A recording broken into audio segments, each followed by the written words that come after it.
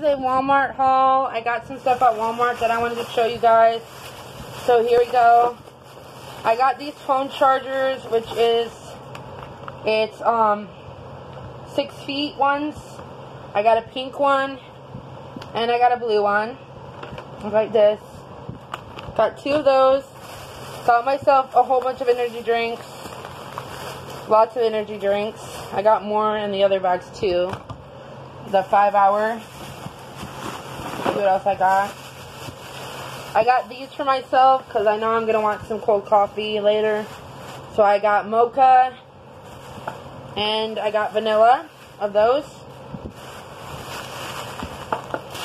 I got some toys for the boys.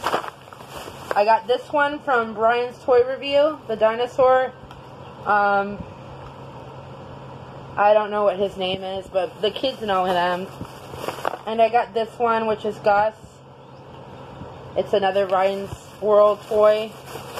I got some eggs for the boys to eat. Easter egg things for the boys to eat. Got this um, PJ Mask um, um, squishy or whatever it's called. And I got these for the kids. I got the um, Captain America. I got the Spider-Man mini one, and then I got the Iron Man. Open So- tattoos. Hold on, I'm kind of busy. You just knocked my phone Show down. what have a mini egg. Oh, they got a mini egg, a big egg too, um, for nine dollars, and they got stuff in it. And this is It's two open tattoos this. that they have in there. Open Okay, it. open it. Oh, how? Another egg. Some um, Oh. some Open tums. Um, open this.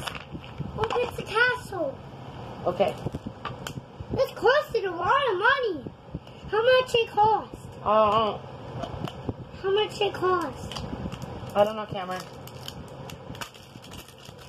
I got some more energy drinks. The last one's really personal, so I don't really want to. It's a new character. I don't really want to um show it off. It's a It's new personal. character. Oh, personal is, thing. Oh, this is a new character. Here's a new character from PJ Mask. So he has never had that one. But anyway, so I'm going to subscribe. Love you guys. All right, bye. Open the blind bag, Mom.